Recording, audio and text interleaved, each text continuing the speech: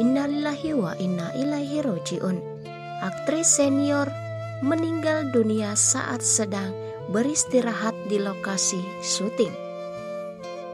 Namun sebelum kita lanjut membahas video ini, pastikan sahabat sensasi selap telah menekan tombol subscribe-nya terlebih dahulu agar tidak ketinggalan berita menarik seputar selebriti terupdate dari sensasi selap.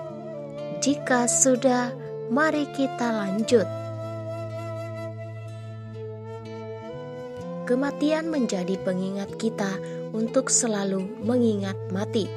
Hidup dan mati ada di genggaman ilahi.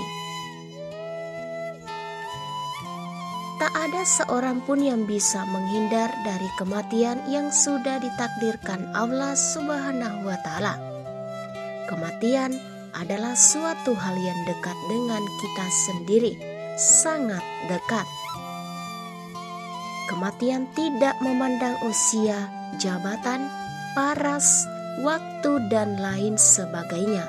Tidak ada seorang pun yang bisa memprediksi kapan kematian akan menghampiri setiap manusia. Kematian datang secara tiba-tiba. Yang hanya bisa kita lakukan adalah mempersiapkan diri dengan amalan-amalan yang dapat membantu kita kelak ketika sudah tidak ada ya di dunia ini. Kejadian meninggalnya orang terdekat bisa dijadikan pengingat agar kita selalu mengingat kematian setiap hari, bahkan setiap hembusan nafas kita.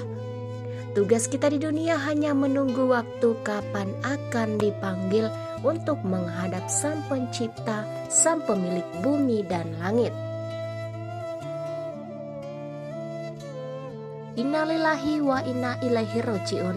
Aktris senior Ida Kusuma diketahui meninggal dunia saat beristirahat di lokasi syuting Cinta Fitri. Pemeran Oma ini kabarnya meninggal dunia karena serangan jantung. Ia awalnya tengah tertidur menunggu giliran syuting, namun setelah dipanggil ternyata Ida Kusuma tidak memberikan respon apa pun. Pada kru serial tersebut pun panik dan pembawa membawa Ida Kusuma ke rumah sakit. Rupanya tidurnya Ida Kusuma saat itu adalah untuk selama-lamanya.